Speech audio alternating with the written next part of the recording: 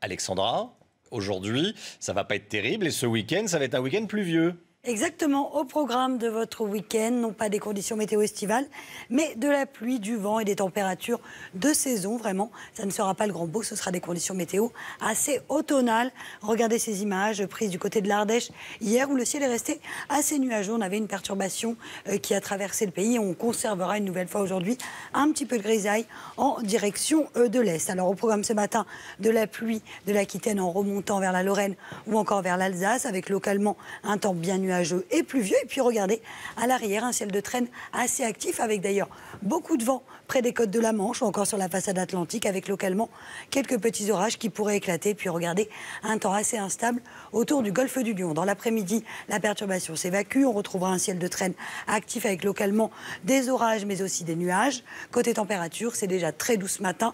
9 degrés en Bretagne ou encore 16 degrés à Montpellier. Puis dans l'après-midi, température conforme au normal de saison. 16 degrés à Paris. Paris, 19 à 20 degrés le long de la Garonne et 21 degrés à Marseille. Alexandra, pour les jours suivants et notamment euh, ce week-end, ça va être le même topo. Hein. Oui, même topo ce week-end avec des conditions météo agitées, surtout pour la journée de samedi sur les régions de l'Est et puis dimanche, de nouveau un temps perturbé avec beaucoup de vent autour du golfe du Lion. Et la semaine prochaine, on surveillera les fortes pluies attendues en direction des régions méridionales pour les journées de mardi, mercredi et jeudi. Situation à surveiller.